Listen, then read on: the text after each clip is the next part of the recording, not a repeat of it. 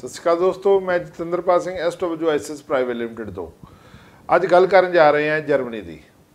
Germany ਦੇ ਵਿੱਚ ਜੇ ਦੇਖਿਆ ਜਾਵੇ ਤਾਂ ਹੁਣ ਬਹੁਤ ਜ਼ਿਆਦਾ ਕੋਈ ਕਰੋਨਾ ਵਾਇਰਸ ਦੇ ਐਕਟਿਵ ਕੇਸਿਸ ਨਹੀਂ ਰਹਿ ਗਏ, ਸਿਰਫ ਮਾਤਰ 7000 ਕੇਸਿਸ ਰਹਿ ਗਏ ਆ।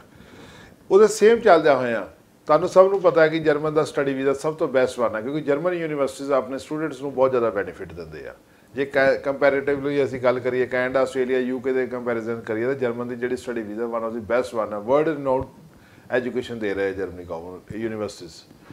ਇਸ ਦੇ ਚੱਲਦੇ ਹੀ ਸਾਡੀ ਇੱਕ ਪਾਰਟਨਰ ਯੂਨੀਵਰਸਿਟੀ ਜਰਮਨ ਦੀ ਯੂਨੀਵਰਸਿਟੀ ਆਫ ਲਾਅ, ਜਿਹੜੀ ਕਿ ਪਹਿਲੀ ਗੱਲ ਤਾਂ ਇਹ ਵਿਦਆਊਟ ਆਈਲੈਟਸ ਬੱਚਿਆਂ ਨੂੰ ਅਸੈਪਟ ਕਰ ਰਹੀ ਹੈ।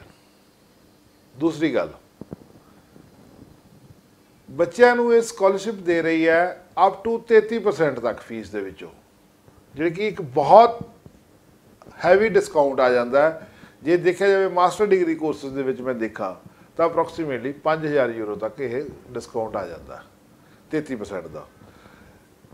ਮਾਸਟਰ ਡਿਗਰੀ ਦੇ ਵਿੱਚ ਜੇ ਜਰਮਨੀ ਯੂਨੀਵਰਸਿਟੀ ਆਫ ਲਾਅ ਦੀ ਗੱਲ ਕਰੀਏ, ਤਾਂ ਇਹ ਕੱਲ ਸਾਰੇ ਕੋਰਸ ਦੇ ਰਹੇ ਆ। ਇੰਜੀਨੀਅਰਸ ਲਈ ਦੇ ਰਹੇ ਨੇ, ਇਹ ਹੈਲਥ ਪ੍ਰੋਫੈਸ਼ਨਲ ਲਈ ਦੇ ਰਹੇ ਨੇ, ਇਹ ਬੀਕਾਮ ਬੀਬੀਏ ਬੀਸੀਏ ਬੀਟੈਕ ਜਾਂ ਜਨਰਲ ਸਿੰਪਲ ਗ੍ਰੈਜੂਏਟਸ ਲਈ ਵੀ ਦੇ ਰਹੇ ਕੋਰਸਸ ਬਹੁਤ ਅੱਛੇ ਕੋਰਸਸ ਹੈਗੇ ਆ।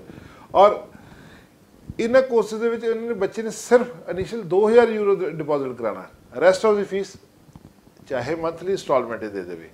ਇਹ ਇੱਕ ਬੜੀ ਅੱਛੀ ਗੱਲ ਹੈ ਬੱਚਿਆਂ ਲਈ, ਕਿਉਂਕਿ ਯੂਨੀਵਰਸਿਟੀਜ਼ ਇਸ ਤਰੀਕੇ ਦੀ ਫਲੈਕਸੀਬਿਲਿਟੀਜ਼ ਬੱਚਿਆਂ ਨੂੰ ਦੇ ਰਹੀਆਂ ਤਾਂ ਕਿ ਬੱਚੇ ਦੇ ਕਿਸ ਤੇ ਫਾਈਨੈਂਸ਼ੀਅਲ ਬਰਡਨ ਨਾ ਪਵੇ।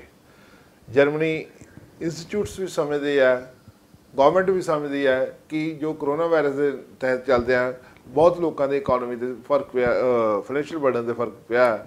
ਤਾਂ ਉਹਨਾਂ ਨੂੰ ਇਹ ਸਿਸਟਮ ਦਿੱਤਾ ਜਾਂਦਾ ਕਿ ਲਵੀ ਉਹ ਫੀਸ ਬੜੀ ਈਜ਼ੀ ਇੰਸਟਾਲਮੈਂਟ 'ਚ ਬੱਚੇ ਭਰਦੇ ਨੇ।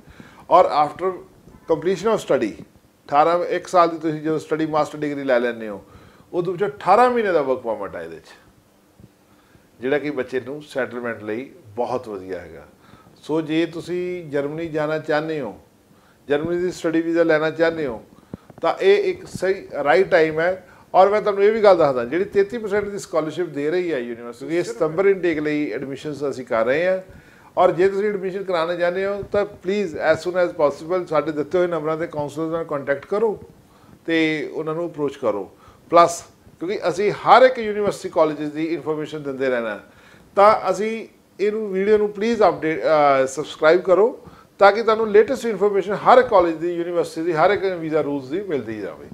ਔਰ ਜੇ ਤੁਹਾਡਾ ਕੋਈ ਦੋਸਤ ਮਿੱਤਰ ਜੇ ਇਨਫੋਰਮੇਸ਼ਨ ਚਾਹੁੰਦਾ ਤਾਂ ਪਲੀਜ਼ ਉਹਨਾਂ ਨਾਲ ਸ਼ੇਅਰ ਵੀ ਕਰੋ। ਸਤਿ ਸ਼੍ਰੀ ਅਕਾਲ।